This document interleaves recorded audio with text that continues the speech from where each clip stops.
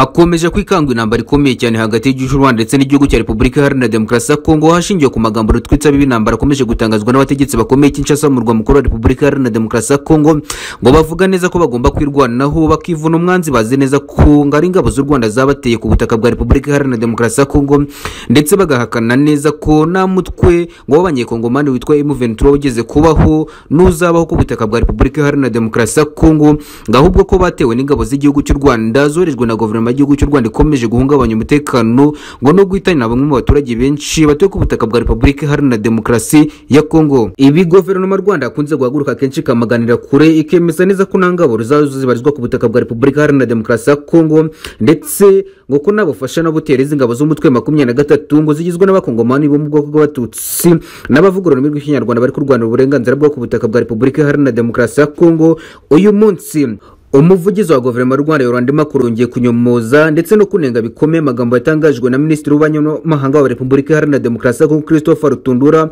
watangaje neza ko ngo guverinoma rwanda iri gutegura umugambi mubishya ngo wa jenoside izakorerwa abaturage b'abakongomani b'ubwoko bw'abahutu ngo ndetse n'umugambi ukomeye cyane igisirikare cy'u rwanda rdf zifatanyamo n'ingabo z'umutwe wa makumyabiri na gatatu ngo ziri kurwanira imuriramatwara k'ubutaka bwa repubulika iharanira demokarasi ya kongo ni ibyara ibitangajwe na minisitiri w'ububanyi n'amahanga wa repubulika iharanira demokarasi ya kongo gusa bikaba inkuru ishaje ku bakurikiranira hafi ibyo kubera ku butaka bwa repubulika iharanira demokarasi ya kongo dore ko bamenyereye iby'ubushotoranyi bukomeje gukorwa n'abayobozi bakomeye ku butaka bwa repubulika iharanira demokarasi ya kongo bayobowe n'umukuru w'umukuru w'igihugu bwana felix antoine kisekedi ukomeza gutangaza neza ko ngo yatewe n'ingabo z'igihugu cy'u rwanda ku butaka bwa repubulika iharanira demokarasi ya kongo ndetse ko yiteguye gushoza intambara ku gihugu cy'u rwanda mu kwihorera bikomeye ngo kuko igihugu cyo cyamaze guterwa byeruye n'ingabo z'igisirikare cy'u rwanda rdf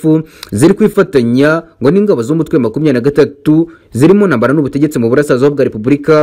iharanira demokarasi ya kongo amagambo akomeye y'ubushotoranyi n'urwango rukomeye akomeje gukoreshwa n'itsinda rigari rigize guverinoma ku ubutaka bwa repubulika iharanira demokarasi ya kongo hagamije gusiga ndetse no gusebya guverinoma y'igihugu cy'u rwanda n'igisirikare cy'u rwanda rdf muri rusange bahuruza ibihugu by'amahanga ndetse n'imiryango mpuzamahanga ngo kuza kurebera amarori akomeje kubera ku butaka bwa repubulika iharanira demokarasi ya kongo bagaragaza neza ko gakomeje kugirwamo uruhare na guverinoma y'igihugu cy'u rwanda nyuma y'uko iyororo afcm ventura abaturage rikomeje kugaragira ndetse no kwisasira bamwe mu basirikare bakomeje kurwana kwa rw'ubutegetsi bwa leta ya Kinshasa ari nako iri huriro rikomeje kwigarura ibice byinshi mu burasirazuba bwa Repubulika Iharanira Demokarasi ya Kongo ubutegetsi bwa Kinshasa gukomeje kwitwaza u rwanda nka nyirabayazana ibibazo bikomeje kubera ku butaka bwa repubulika iharanira demokarasi ya kongo nk'uburyo nk'ubu bwo kwirengagiza ikibazo bananiwe gukemura kiri ku butaka bwa repubulika iharanira demokarasi ya kongo ngo ubutegetsi bwa kinshasa bufitanye n'abaturage babo ubwabo ngo bari kurwanira impinduramatwara ndetse no gushaka ukwigenga ku butaka bwa repubulika iharanira demokarasi ya kongo umwuka umubi n'intambara ukomeje gufata intera nyuma y'uko guverinoma y'igihugu cy'u rwanda ukomeze gutangaza ko n'abikorwa na bito by'ubufasha yaba ifite ku butaka bwa repubulika iharanira demokarasi ya kongo ndetse n'aho n'ibibazo biri mu burasirazuba bwa repubulika iharanira demokarasi ya kongo nk'uko byongeye kugarukwaho n'umuvugizi wa guverinoma y'u rwanda yorande makuro wanyumuzaga aya magambo yatangajwe na minisitiri w'ububanyi n'amahanga wa repubulika iharanira demokarasi ya kongo uvuga neza ko ngo hari gutegurwa jenoside yo kwibasira abaturage b'abanyakongomani bari mu bwoko bw'abahutu ngibi byose akaba ari ibikorwa by'ubugizi bwa nabi gutegurwa na guverinoma y'u rwanda ngo yifatanyije n'ingabo z'umutwe makumyabiri na gatatu ziri kurwanira impinduramatwara k'ubutaka bwa repubulika iharanira demokarasi ya kongo ibi umuvugizi wa guverinoma y'u rwanda yagarutseho akavuga ko ari igisabo gikomeye cyamaze kwibasira guverinoma ya kinshasa ishinjwa gukorana n'inkozi za fdr zirimo n'abasizi bakoze jenoside mu gihugu cy'u rwanda mu gihumbi kimwe magana cyenda mirongo cyenda na kane bakaba bakomeje kwireguza ibinyoma mu gukomeza kwikura iki gisebo gikomeye bagize ba nabi bamaze gucengera ubutegetsi bwa leta ya kinshasa byongeye kandi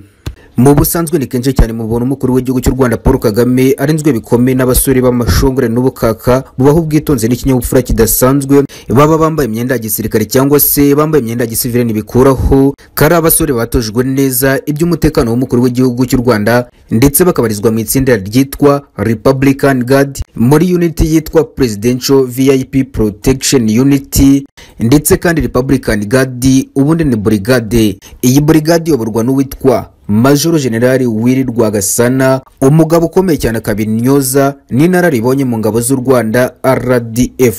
mu busanzwe burigade igira amabatayo muri batayo naho habamo byinshi nk'amasekisiyo amayuniti atandukanye n'ibindi n'ibindi vip production ni imwe muri izo uniti zibarizwa muri burigade muri vip protection unit abenshi nta uniform bambara bakunda kwiyambarira amakote maremare gusa byinshi biba byihishe muri ayo makote maremare reka tubireke maze twirebere ibikoresho bidasanzwe biba biri muri twa dukapu duto n'ababwiye twambarwa n'abasore b'inarumi barinda umukuru w'igihugu cy'u rwanda paul kagame babarizwa mu mutwe wise presidential vip protection unity aka gakapu mu busanzwe kagira ibyumba bitanu buri cyumba kikagira iki kigenewe kigomba kubikwamo icyumba cya mbere cy'aka gakapu kibarizwa mu ruhande rw'iburyo nk'igice twakwita nk'ihembe ry'aka gakapu ni icyumba kibikamo konake iyo umukuru w'igihugu cy'u rwanda his excellence paul kagame cyangwa se indi modoka iyo ari yose ishobora kwifashishwa nk'igihe haba habaye ikibazo gitunguranye gisaba ko bahita bahungisha vuba banavuga ngo umukuru w'igihugu cy'u rwanda cyangwa se ngo na n'ubundi hakabikwamo konake isanzwe y'imodoka umukuru w'igihugu cy'u rwanda aragendamo igihe ararangiza ibikorwa runaka yaba arimo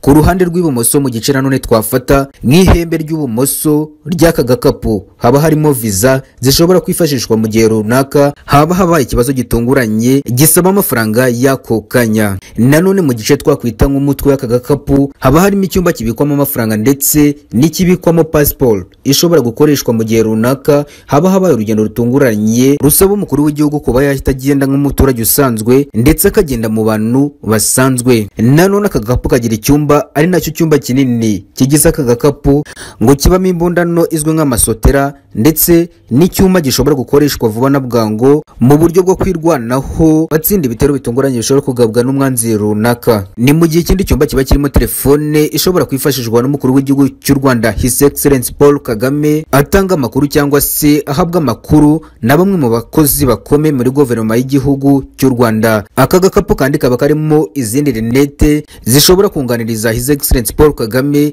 igize ishobora kwangirika bitunguranye aya niyo makuru y'ubwino kandi y'ukuri kuzira uburyarya y'ibikoresho karundura ndetse n'ibihatse kari agakapu kaba kambawe n'abasirikare bakomeye bashinzwe umutekano w'umukuru w'igihugu cy'u rwanda his egiserensi paul kagame babarizwa mu mutwe wiswe presidential vip protection unity